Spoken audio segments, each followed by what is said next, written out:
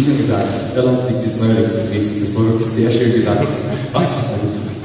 Ähm, das folgende Stück, was wir spielen möchten, ist gewissermaßen Teil des Gründungsmythos dieser Band, wenn man dazu sagen möchte. Es wurde nämlich geschrieben von einem jungen oder mittlerweile ja, jungen, liebenden Mann namens Andy Irvine. Ähm, der war Mitglied einer Band namens Planksty. Planksty haben als irische Band in den 70er und 80er Jahren die Irish Folk Musik überhaupt erst wieder salonfähig gemacht und groß gemacht. Und er hat ein Lied darüber geschrieben, wie es war, als junger Musiker quer durch Irland zu reisen, Musik zu spielen, bei Sessions teilzunehmen und einfach das Land, die Leute und all das aufzusaugen und dann in der Musik widerspiegeln zu lassen.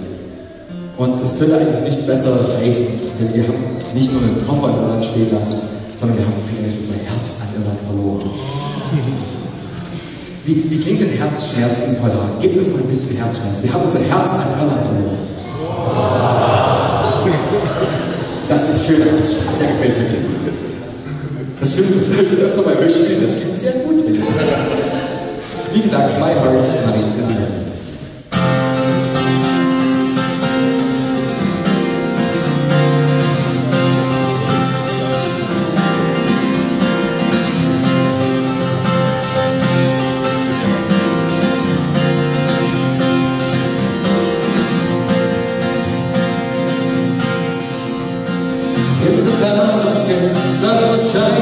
sister When will it come to place by empties twelve my ninety-nine? Many years have passed and gone Since the times we have been My heart is ninety-nine And as we now to Our time is far away across the world As we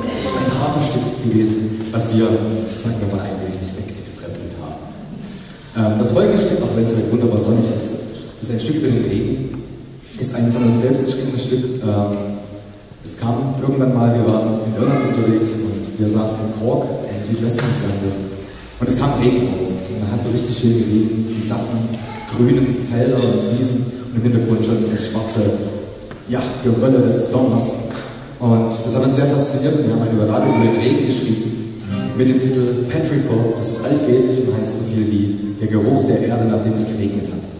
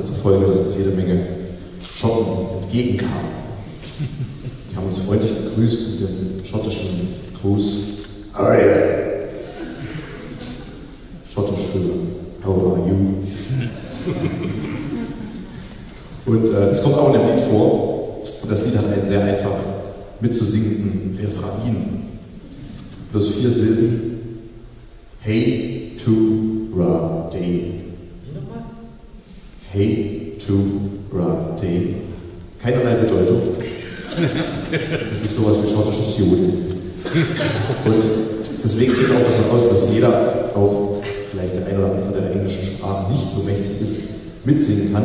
Also diese paar Silben, die werden mehrfach wiederholt. Und am Ende kommt noch dazu Walking Down West Highland Way.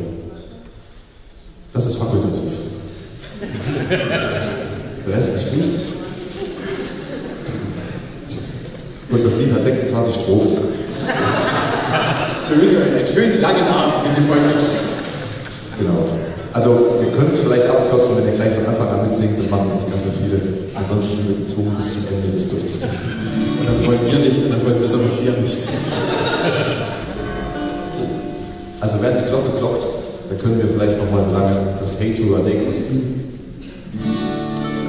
Voor Want dan, wacht even. Zingen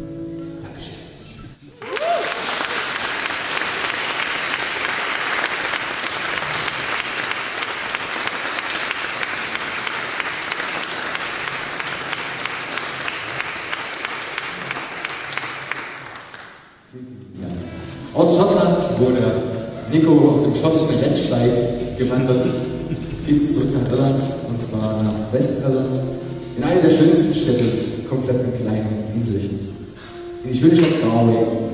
Und da gibt es ein Lied über eine junge Frau. Ähm, die junge Frau hat leider keinen eigenen Namen. Wir sind der Meinung, sie könnte oder sollte zumindest Holger heißen. Weil wir sind der festen Überzeugung, dass zu wenige irische Frauen Holger heißen. Ähm, wir haben deswegen auch eine Initiative gegründet, könnt ihr alles im Internet finden. Dazu aber später mehr. Diese junge Frau jedenfalls ähm, wohnt in dieser wunderschönen Stadt in Galway. Da gibt es einen jungen Mann, der ihr nachstellt, der sie gerne kennenlernen möchte. Und hat ein Lied geschrieben mit dem vielsagenden und doch gleichermaßen nichtssagenden Titel Galway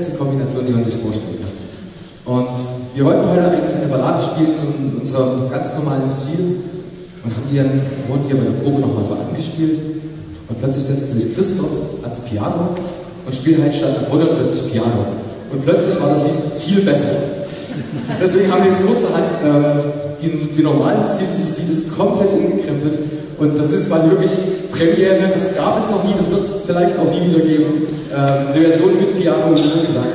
Ein Stück ähm, über die Freiheit der Iren, die hoffentlich irgendwann mal kommen möge. Bisher war es noch nicht da. Ein Stück namens Only a River's Run Free.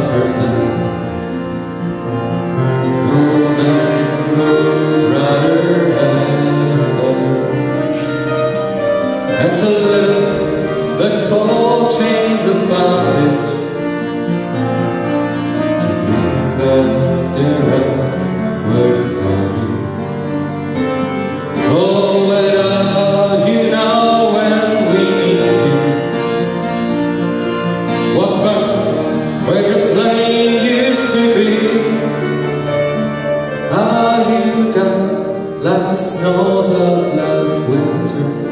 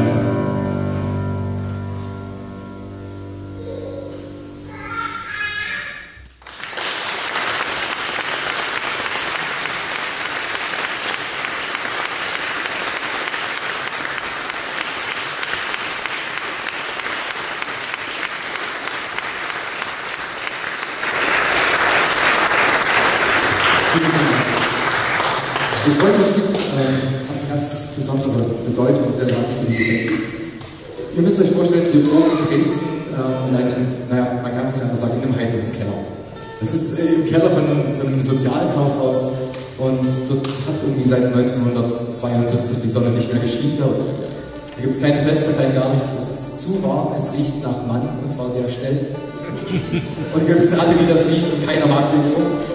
Dementsprechend immer, wenn wir ähm, irgendwelche wichtigen Konzerte spielen oder vorbereiten, fahren wir ein Stück weit raus aufs Land zu einem guten Bekannten nach, nach Nossen, das ist in der Nähe. Und er hat ein Haus mitten nirgendwo, ganz alt, kein Internet, Kohleheizung, wunderbar rückschrittlich, im besten Sinne. Und da sitzen wir dann immer und machen Musik und bereiten uns vor. Und so kam es auch bei dem nächsten. Wir saßen irgendwie mal wieder da, haben, ich glaube, ein Weihnachtskonzert äh, vorbereitet. Und ja, saßen dann abends da, hatten unser Tagewerk vollbracht und haben dann auch schon die eine oder andere Fanta getrunken. Ist uns natürlich aufgefallen, dass wir alle ganz, ganz doll Fanta-intolerant sind. Deswegen haben wir nur noch Mist geredet. Das war ganz komisch. Ich weiß bis heute nicht, was da los war. Plötzlich kam ein Christoph mit so einem kleinen grünen Buch und dachte, was will er denn jetzt? Will er jetzt irgendwie, keine Ahnung, aus den Memoiren rezitieren oder was geht denn jetzt hier ab? Und, aber nein, Christoph hat ein kleines Buch mitgebracht und in diesem kleinen Buch waren Lieder drin. Und er fing plötzlich an zu singen. Und nicht nur das, also nicht nur, dass Christoph nach zwei Jahren Bandgeschichte das erste Mal sang. Also ist ja nicht so in der Band, dass man singen könnte, ne? Braucht ja niemand. Ähm, sondern nicht nur das, er hat nicht auf Englisch gesungen, nicht auf Deutsch gesungen, er hat in der alten Sprache der Iren gesungen, in alten irischen Gälisch. Und ähm, er hat das Lied gespielt und unsere Kinder lagen dann am nächsten Tag nur noch vor der Tür. Und da haben wir gesagt, das ist so ein tolles Stück, wir waren so fasziniert davon, wir wollen es auf die Bühne bringen und wollen es für Menschen spielen und mit Menschen teilen. Deswegen jetzt für euch an, äh, gesagt, Christoph mit einem Stück namens Carnation Doctation. Thank